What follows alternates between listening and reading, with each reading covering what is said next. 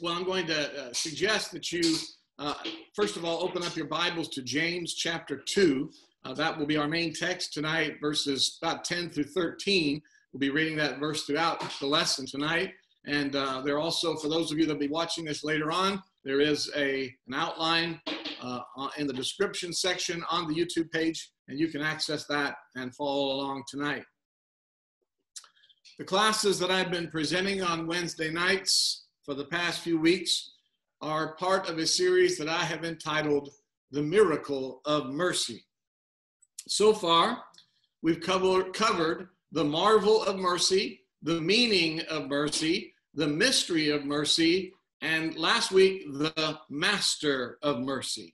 The sermons up to this point, these classes have been focused mainly on the mercy that we receive from God a mercy that is too good to be true, a mercy that goes beyond explanation because it's not there for us to explain, but rather instead to enjoy. A mercy that originated with God, a mercy that belongs to Him, and a mercy, as we saw last week, that is the sovereignty of God as we looked at the master of mercy. What I want to do tonight is we're going to switch gears tonight uh, before I focused on the mercy that we receive from God, now I want to consider the mercy that we are to give to others. Tonight, I want to talk about the mandate of mercy. That's the title of the lesson tonight the mandate of mercy. So I hope you have your Bibles open to James chapter 2. We're going to begin tonight in James chapter 2 by reading verses 12 through 13. So here are words from the Holy Spirit. In verse 12, it says, So speak and so do as those who will be judged by the law of liberty. For judgment is without mercy to the one who has shown no mercy. Mercy triumphs over judgment. Mercy has but one mandate, and that is the level you give is the level you receive. The way that you deal with others when they sin against you is related to the way God will deal with you as you sin against Him. If you uh, wish to receive mercy, then you must be a liberal. You must be very generous in doling out that mercy to other people as well. You must give it freely. The reality is that it is very easy for us to receive mercy, and it is very difficult for us to give it to others. When it comes to God's laws, as we look at the Bible, we look at the things that God requires of us. We need Him to be liberal. We need Him to be uh, compassionate. We need Him to be merciful. As we're here in James chapter 2, I read verses 12 through 13. I want to back up now to verse 10. And we're this time going to read verses 10 through 13, or actually 10 through 12. So in verse 10, he says, For whoever shall keep the whole law and yet stumble in one point, he is guilty of all. For he who said, This is God, do not commit adultery, he also said, Do not murder. Now, if you do not commit adultery, but you do murder, you have become a transgressor of the law. Verse 12 says, So speak and so do as those who will be judged by the law of liberty. So, in the way that we talk to others, in the way that we treat others, let's treat them as people who have been liberated by God. This is the first phrase as we look here at verse 12, the first phrase that regulates the mandate of mercy. And that's this phrase, the law of liberty. So I'm going to focus on that right now for the next few minutes. We're going to be talking about the law of liberty. We ourselves, we have fallen short of perfectly keeping God's law. And so, who are we then to, when we look at others, to set up our own standards and treat others based upon those standards that we set for them? we need to act like we ourselves have been liberated and then treat others as they have been liberated by God. You'll notice in chapter 2, verse 12 here in James, the Bible here is giving us a positive motivation. He is saying, Give what you have received. You have enjoyed the blessing of mercy. He says, Now share it with others. The law of liberty that set you free should prompt you to set others free as well. Now, if you look at verse 13, we see the negative motivation here in verse 13. He says, For judgment is without mercy to the one who has shown no mercy. Mercy triumphs over judgment. So here we have this law. We think of law usually as something binding, something that uh, restricts us, uh, something that is very restrictive in our activities. And yet we've seen in verse 12 that it was called the law of liberty, a law that God used to set us free. Really, it's the law of Christ.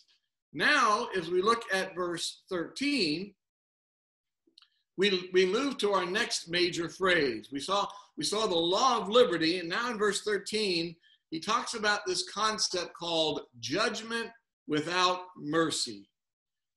Now, this may be hard for us to do, but I want you to try to imagine in your mind the final judgment day, standing before God, standing before the judge of all judges. And there in that hour, where God is either going to take us into heaven or send us to hell. He is going to be judging us. And I want you to try to imagine judgment without mercy. That's a very, very frightening thought when you're talking about God, Almighty Judge. Now, the best way that I can try to think of this in my own thinking is a few years ago, actually, it's more than a few years ago, I was driving down a road and uh, I was going about 35 or 40, and um, everything seemed to be just normal. I'm driving, I was probably about 40, and uh, there was a police car that pulled up beside me. He's going parallel with me, and then all of a sudden, he, I was in the left lane. He came into my lane, passed up it right in front of me. So he's one car ahead of me, and all of a sudden, he started slowing down very slow. So I thought, well, I'm going to maintain my speed. I did a dumb thing. I decided to pass him on the right. Okay, very slowly. I wasn't, you know, punching it at 90 miles an hour or nothing like that. I passed him up on the right. Well, you might be able to guess what happened. He then pulls in right behind me, turns his sirens on, pulls me over. Now, this is a road that I had traveled very regularly to uh, go to work. And uh, I'd always traveled 40, 35, 40 miles an hour on this road. Well, I sort of missed something because I didn't realize that there was a section of that road where it was a school zone. And so I don't know whether that's, I think the speed limit was maybe 20 for that particular, just a little section there. So that's what he was pulling me over for. I didn't know that. So he pulls up uh, pulls, uh, you know, comes beside my vehicle. He says, "Do you know what I pulled you over for?" Well, I had to be honest. I said, "No, I have no idea why you're pulling me over." I, I didn't say anything like that. I just said, "I don't know." He said, "You're in a school zone and you're going over 20." Well, guess what? Everybody on that road was going 35 and 40. They always did. They were doing it this day. They were doing it that day. Don't you just hate that when a police officer pulls chooses to pull you over when everybody else was doing the very same thing that you were, right? So I even kind of said that. I said, well, you know, uh, um, uh, I, I, can't remember what I said. Something to the effect of, uh, yeah, but why'd you pull me over? You know, all these other people are going the same speed. He says, well, I had to pull somebody over. and so uh, he gave me a ticket. Well, I tried to use all the little, um, you know, reasonings that I could to get out of it, like, well, I really wasn't doing anything really bad. I was kind of in a hurry. I didn't hurt anybody. You know, can you give me a break, officer? Absolutely not. Boy, he laid down the law. I think I got a, uh, a ticket for $220 for doing that. And so, no mercy at all. I tried everything. I tried to reason with him. Absolutely no mercy. Now, when it comes to you needing mercy, you know, you can look at other people sometimes when they need mercy, and you might not be as liberal, but when you need it, boy, you're ready to be very liberal minded on this. You wouldn't uh, want to think of it when you're in need of it, but when others, what, what about others when they need it? Others need it. Are you willing to give it to them? Well, this verse right here in James chapter 2, verse 13, to me, it shoots straight. If it is right, and of course we know it is right, then we need to get serious about this business of mercy. We need to be doing all that we can to forgive others and be kind to all people, no matter what they have done against us. Let's look at a couple other verses right now as we talk some more about this. Turn with me over to Matthew chapter 6. I'll give you some time. We're going to be in Matthew chapter 6, a portion of the Sermon on the Mount. In fact, it's the verses that follow what we call the Lord's Prayer or the disciples' prayer. And after Jesus gives that model prayer, in verse 14, he talks about forgiveness and mercy. So this is Matthew chapter 6, verse 14. Jesus says, For if you forgive men their trespasses, your heavenly Father will also forgive you. Now, some of us might just hope that Jesus would have just stopped right there. That's the positive. You forgive, God's going to forgive. But he went on to say in verse 15, if you do not forgive men their trespasses, neither will your Father forgive your trespasses. I hope that verse troubles you a little bit because I think all of us can think of moments in our lives where we were not very forgiving towards someone else. And if we then get serious about this verse and we take it literally, this is then telling us that God's not going to forgive us either. So it's a very, I mean, there's really not much to say. Our forgiveness from God is dependent upon our forgiving others. Well, if that wasn't enough for you, we're still in Matthew. Go over to chapter 7. Matthew chapter 7. This might be a verse that many of us, of course, are familiar with. Matthew chapter 7, we'll just start at verse 1. Jesus says, Judge not that you be not judged. For with what judgment you judge, you will be judged. And with the measure you use, it will be measured back to you. And why do you look at the speck in your brother's eye, but you do not consider the plank in your own eye? Or how can you say to your brother, Let me remove the speck from your eye, and look, the plank is in your own eye?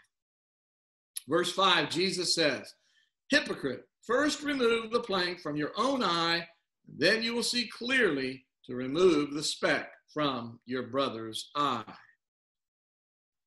Sounds like Jesus has a theme going here. And here it's a little more amplified to show that when we have others wrong us, most of the time it is merely uh, a small matter. And uh, we are trying to remove a speck, a piece of sawdust, out of someone else's eye, and yet we have a huge plank in our own eye.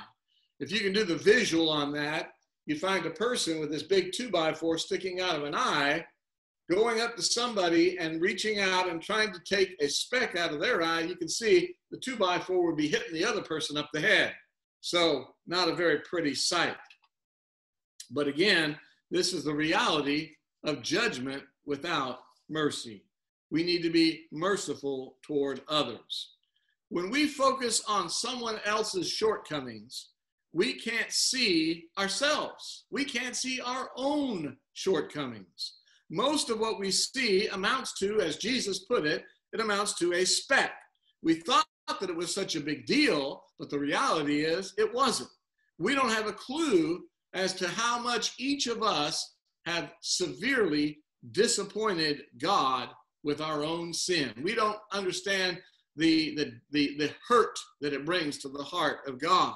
He forgave us, and when we don't forgive others, Well, Jesus says it right here in verse 5 we are a hypocrite. Now, as we think about this, it might be a good time for all of us right now to contemplate whether or not there is someone in your life that you need to forgive right now. Draw up that face, draw up that name. Think about that person that you're being bitter toward, that you haven't forgiven. Might be a good time to really think seriously about that. Someone who, uh, maybe someone you won't speak to, someone uh, you won't greet, someone from which, again, there's just bitterness in your heart. And what we need to do is a very difficult thing. We need to, like Elsa, we need to let it go. Yes, we need to let it go. And if you don't, Jesus said, or well, James says here in James 2, you're storing up judgment without mercy in the judgment day. Well, let's get to some more good news here now.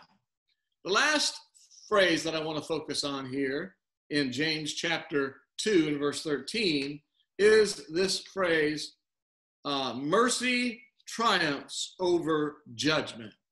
Boy, doesn't that just have a beautiful sound to it? Mercy triumphs over judgment. This is the victory. We are going to win in the judgment. So let's win with mercy now as we give it to others in this life. Do you know that Satan gets the victory when we withhold mercy from others? And how uh, especially sad it is when he wins with the specks that are in other people's eyes. I mean, small matters that we really should easily forgive others, and we're trying to out, take out a speck while there's a plank in our own eye.